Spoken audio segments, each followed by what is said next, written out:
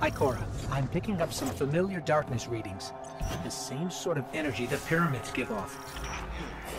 My Hidden have reported Scorn smuggling pyramid tech into the throne world. Likely on behalf of this witness. Stay cautious, but see what you can learn. We're on it.